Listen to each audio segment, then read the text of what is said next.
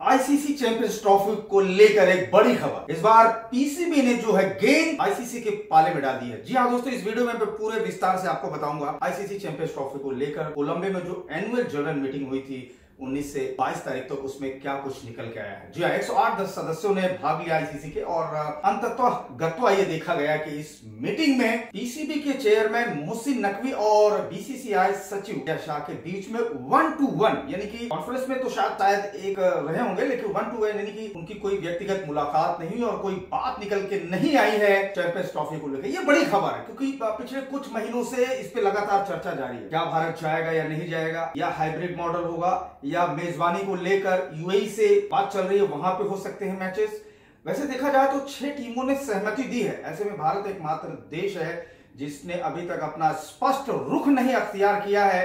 और ये मीटिंग में ऐसा कयास लगाया जा रहा था जो कोलंबे में हुई थी कि शायद कुछ ना कुछ चीज़ें निकल के आई है। यानी कि अब जो है बीसीसीआई भी अभी भी उनकी तरफ़ से कोई आधिकारिक बयान नहीं आया है, लेकिन पीसीबी की तरफ़, उनकी तरफ़ से बयान जारी आया है उन्होंने बताया कि हमने आईसीसी से कहा है, भारत से आप बात करिए और यहाँ पे हमारे देश में आने के लिए क्या वजह हो सकती है, अगर नहीं आते तो क्या कारण हो सकता है, उसमें स्पष्ट रूप से उन्होंने आईसीसी को ये बताया है और हालाँकि मैं आपको बता दूँ, ये बजट पास हो गया है आईसीसी की तरफ़ से। चैंपियंस ट्रॉफी को हज़ार अस्सी का बजट है और बजट को लेकर पाकिस्तान हैप्पी तो है, बहुत खुश है, लेकिन भारत अगर वहाँ नहीं जाएगा, ऐसे में मैं समझता हूँ कि ये खटाई में पड़ सकता है। वैसे देखा जाए तो राजनीतिक कारणों से पिछले कुछ दशकों से भारत और पाकिस्तान का संबंध सुरक्षा कारणों से बहुत अच्छा नहीं है, ये राजनीतिक मसला भी है।